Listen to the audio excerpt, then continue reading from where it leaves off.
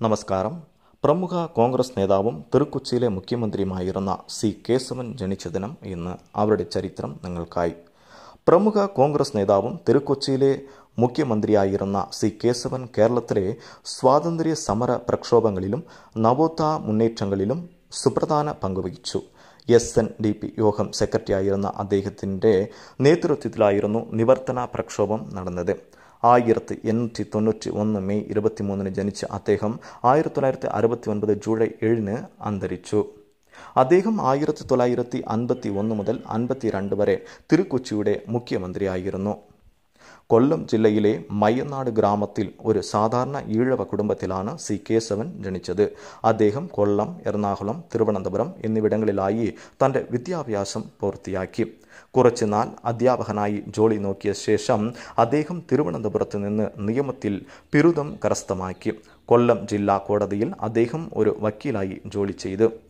ഒരു നിരീശ്വരവാദിയിലായിരുന്ന കേശവനെ ശ്രീനാരായണ ഗുരുവിന്റെയും ഗാന്ധിജിയുടെയും കാൽ മാർക്സിസ്റ്റിന്റെയും ചിന്തകൾ സ്വാധീനിച്ചു സമൂഹത്തിലെ അയിത്തം തുടച്ചു മാറ്റുവാനായി അദ്ദേഹം പ്രയത്നിച്ചു. എസ് എൻ ഡി പിയുടെ ജനറൽ സെക്രട്ടറിയായി അദ്ദേഹം പ്രവർത്തിച്ചിട്ടുണ്ട്. തിരുവിതാംകൂറിലെ നിസ്സഹകരണ പ്രസ്ഥാനത്തിന്റെ പ്രധാന നേതാക്കളിൽ ഒരാളായിരുന്ന അദ്ദേഹം പൊതുസ്ഥലത്ത് സർക്കാരിനെതിരായി പ്രസംഗിച്ചു എന്ന കുറ്റത്തിന് അദ്ദേഹം ആയിരത്തി തൊള്ളായിരത്തി മുപ്പത്തഞ്ച് ജൂലൈ ഏഴിന് അറസ്റ്റ് ചെയ്യപ്പെട്ടു. രണ്ട് വർഷത്തേക്ക് തടവിലടയ്ക്കപ്പെട്ടു.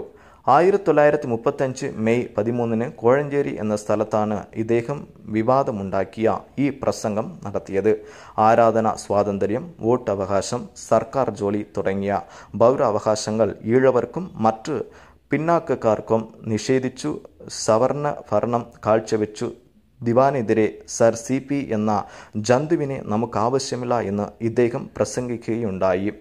നിവർത്തന പ്രക്ഷോഭനത്തിന് വഴി മറന്നിട്ട് ശക്തമായ കാരണത്തിലാണ് ഗവൺമെന്റ് ഉദ്യോഗങ്ങളിൽ ഈഴവ ക്രൈസ്തവ മുസ്ലിം ജനവിഭാഗങ്ങൾക്ക് അർഹമായ അംഗീകാരവും പ്രവേശനവും ബോധപൂർവം നിഷേധിച്ചതായിരുന്നു. ആയിരത്തി തൊള്ളായിരത്തി മുപ്പത്തിരണ്ടിൽ പ്രഖ്യാപിച്ച പുതിയ ഭരണ പരിഷ്കാരം ഭൂമിയുടെ കുത്തവകാശം കൈയടക്കിയെന്നവരിൽ നിന്ന് ഇതരിലേക്കും കൈവശ അവകാശം മാറിയെങ്കിലും അവരുടെ ഭൂമിയുടെയും കരം കെട്ടിയിരുന്നത് പഴയ ജന്മിമാരുടെ പേരിലായിരുന്നു.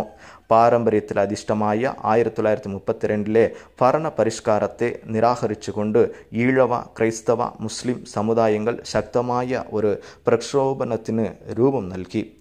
പ്രിയപ്പെട്ടവരെ ഈ വീഡിയോ നിങ്ങൾക്ക് ഇഷ്ടമാണെങ്കിൽ ദയവായി ഷെയർ ചെയ്യുക സബ്സ്ക്രൈബ് ചെയ്യുക. നമസ്കാരം.